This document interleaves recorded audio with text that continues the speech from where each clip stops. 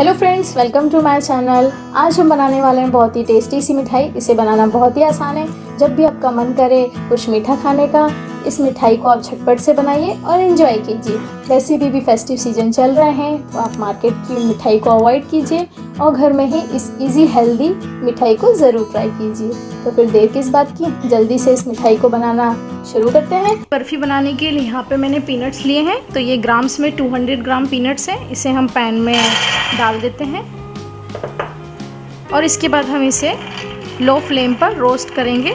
इसे हमें ज़्यादा रोस्ट नहीं करना है, इसे हमें जब तक रोस्ट करेंगे, जब तक कि इसका छिलका अच्छे से रिमूव नहीं हो जाता है। तो इसे कंटिन्यूस चलाते हुए रोस्ट कर लेते हैं। तो यहाँ पे दो से तीन मिनट लगा है और हमारी मूंगफली जो है, रोस्ट हो गई है। देखिए, बिल्कुल भी कलर चेंज नहीं हुआ है और स्किन अच्छे से रिमूव हो रही है। इस तरीके से हम चेक कर लेंगे और फ्लेम को ऑफ़ कर देते हैं। और इसे एक बर्तन में ट्रांसफ़र कर लेंगे और हमें सारे अपने मूंगफली के स्किन को रिमूव करना है। तो आप चाहें तो इसे हाथ से भी रिमूव कर सकते हैं या फिर आप किसी कपड़े में इसे डाल करके उसे आप रब करें तो भी इजीली इसकी स्किन जो है वो रिमूव हो जाएगी। तो इसे हम ट्रांसफ़र कर लेते हैं। तो यहाँ पर पीनट्स को मैंने एक बोल में ट्रांसफ़र कर लिया है। उसके बाद हम इस तरीके का एक कॉटन का कपड़ा लेंगे। आप कोई भी कपड़ा ले लीजिए और इसमें हम ट्रांसफ़र कर देते हैं मूंगफली को। और इसे इस तरीके से चारों तरफ़ ऐसे करते हुए हम इसे रब करेंगे। तो इस तो इससे क्या होगा ना इजीली स्किन जो है वो पीनट से रिमूव हो जाएगी, छिलके आसानी से निकल जाते हैं। इस तरीके से करते हुए, आप चाहे तो हाथ से भी कर सकते हैं, हाथ से भी निकल जाते हैं बट इससे क्या होगा, बहुत जल्दी निकल जाएँगे, हाथ से हमें थोड़ा टाइम भी लग सकता है। देखिए, कितने अच्छे तरीके से हमारे पीनट्स के स्किन अच्छे से रिमूव हो गई है, अब हमें इसे सेपरेट करना है। तो मेक श्योर sure कि सारे पीनट्स के दानों में से स्किन रिमूव होना चाहिए। ओके यहाँ पर आप देख सकते हैं, मैंने पीनट्स के छिलकों को अच्छे से रिमूव कर लिया है और इसे मैंने एक घंटे के लिए फ्रिज में रख दिया था, जिससे कि हम पीनट जब भी हम ग्राइंड करेंगे तो ये मतलब एकदम पेस्ट के फॉर्म में नहीं बनेंगे। तो फ्रिज में रखना बहुत ज़रूरी है। तो अगर आप इसे एक घंटे फ्रिज में रख देंगे तो ये अच्छे से ग्राइंड हो जाएँगे। तो अब हम इसे मिक्सर के जार में डाल देते हैं और इसे हम ग्राइंड कर लेंगे। तो यहाँ पर मैंने एकदम छोटा वाला जार लिया है। और उसके बाद हम अपने पीनट्स को ग्राइंड कर लेते हैं। बिल्कुल थोड़ा थोड़ा डालेंगे, एक बार में हम नहीं डालेंगे। तो यहाँ पर हम मैंने अच्छे से इसे ग्राइंड कर लिया है और पल्स मोड पे मैंने मूंगफली को ग्राइंड किया था। एकदम बारीक हमें इसका पाउडर बनाना है, इसे हम बोल में ट्रांसफ़र कर लेते हैं।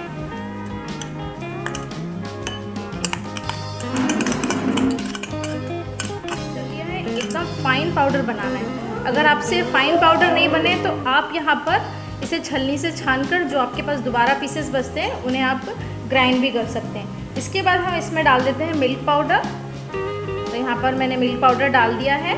ये milk powder one fourth cup मैंने यूज़ किया है, यानी कि तीन बड़े चम्मच। अब हम इसे अच्छे से मिक्स कर देंगे। मिल्क पाउडर डालने से इस बर्फ़ी का टेस्ट जो है बहुत ज़्यादा इन्हेंस हो जाएगा, यानी कि बहुत ज़्यादा टेस्ट इसका बहुत बढ़िया आएगा। तो अब हम इन्हें अच्छे से मिक्स कर देते हैं। बहुत अच्छी तरीके से हम दोनों चीज़ों को मिक्स कर लेंगे। तो यहाँ पर सारी चीज़ें अच्छे से मिक्स हो गई हैं। इसके बाद हम चलते हैं शुगर सिरप बनाने के लिए। शुगर सिरप बनाने के लिए यहाँ पर हम एक पैन रखेंगे। गैस को ऑन कर देते हैं और उसमें हम डालेंगे शक्कर। तो यहाँ पर मैंने एक कप से थोड़ा सा कम शक्कर लिए। ग्राम्स में देखेंगे तो ये डेढ़ सौ ग्राम शक्कर है। और इसी मेज़रमेंट से मैंने डेढ़ कप से ज़्यादा थोड़ा सा मूँगफली लिया था। तो आप मेज़रमेंट का ध्यान ज़रूर रखें। शुगर आप थोड़ा सा कम ज़्यादा कर सकते हैं आपके टेस्ट के अकॉर्डिंग देन इसके बाद हम इसमें डालेंगे वाटर तो यहाँ पर एक कप शक्कर में हम आधा कप से थोड़ा सा बिल्कुल ज़्यादा पानी डाल देते हैं। कम नहीं होना चाहिए, ज़्यादा होगा तो चलेगा। तो बिल्कुल थोड़ा सा ज़्यादा पानी डाल दिया है। और फ्लेम को मीडियम करके हम इसकी चाशनी रेडी करेंगे।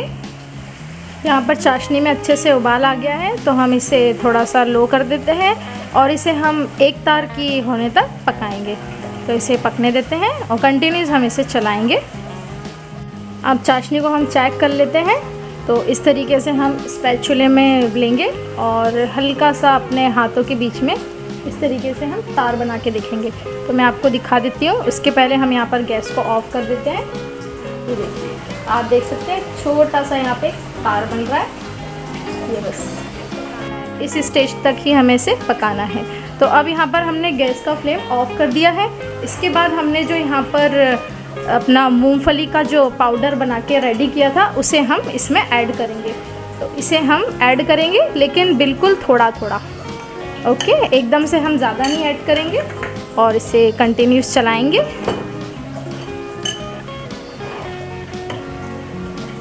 ये प्रोसेस को हम गैस चालू करके भी कर सकते थे बट कभी कभी क्या होता है कि हम जल्दी से मिक्स नहीं कर पाते हैं लम्स भी आ जाते हैं और इतने में हमारी चाशनी जो है वो थिक भी हो जाती है। तो इस तरीके से हम करेंगे तो ज़्यादा बेटर रहेगा। और जो बिगनर्स हैं, उनके लिए तो बहुत ही अच्छा है ये तरीका। इस तरीके से। अब हम लास्ट में सारा पाउडर जो है वो डाल देते हैं। और इसे मिक्स करेंगे। इसके बाद ही हम गैस को ऑन करेंगे। यहाँ पे हमारा मिश्रण चाशनी में अच्छे से मिक्स हो गया है। अब हम क्या करेंगे, गैस की फ्लेम को ऑन कर देते हैं। और बिल्कुल लो फ्लेम तक इसे जब तक हम कुक करेंगे जब तक ये पैन से सेपरेट ना होने लगे मतलब कि ये डो के शेप में ना आ जाए, तब तक हम इसे कंटिन्यूस चलाते हुए कुक करेंगे। तो इसे कंटिन्यूस चलाएँगे। यहाँ पे ये अच्छे से डो का शेप ले रहा है। अब थोड़ा सा हम इसमें डाल देते हैं देसी घी।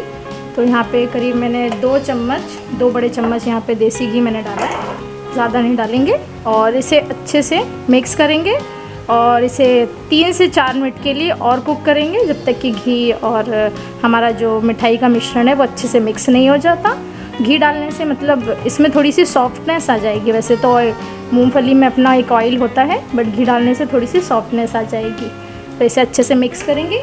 और एक बात और मैं आपको यहाँ पे बताना भूल गई थी, अगर आपके पास मिल्क पाउडर नहीं है, आप नहीं डालना चाहते, किसी वजह से आप नहीं ख़रीद पा रहे हैं, वैसे तो ईजीली मिल जाता है। तो आप यहाँ पर नारियल का बुरादा भी डाल सकते हैं, उससे भी बहुत अच्छा टेस्ट आता है। लास्ट में हम डाल देते हैं यहाँ पे हाफ़ टी स्पून इलायची पाउडर इससे फ्लेवर और ज़्यादा बढ़ जाएगा। और अगर आप इलायची पाउडर भी नहीं डालना चाहते तो यहाँ पर आप रोज़ एसेंस का भी यूज़ कर सकते हैं। उससे भी इस बर्फ़ी का टेस्ट जो है, वो बहुत अच्छा आता है। तो इसे हम अच्छे से मिक्स कर लेते हैं। और ये देखिए ऑलमोस्ट हमारा ये रेडी हो गया है। ये कितने अच्छे तरीके से ये बाइंड होने लगा है एकदम बिल्कुल। बस हमें इतना ही कुक करना है, इससे ज़्यादा हम नहीं कुक करेंगे। तो इसे अच्छे से मिक्स कर देते हैं और गैस का फ्लेम ऑफ़ कर देंगे।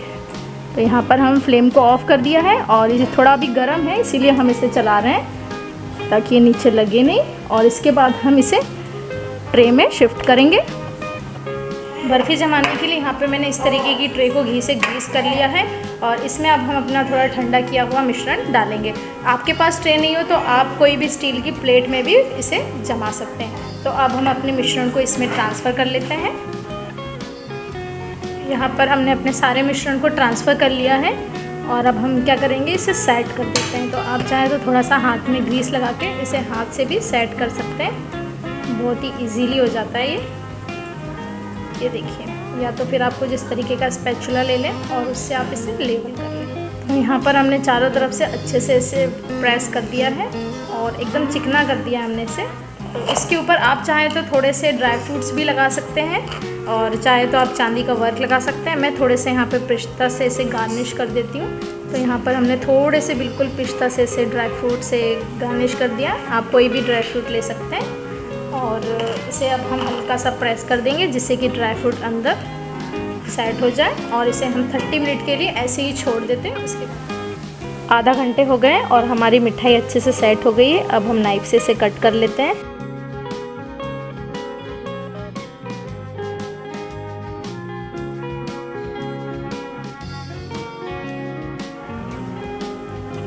मूंगफली की मिठाई को हम इस तरीके से प्लेट में निकाल लेते हैं।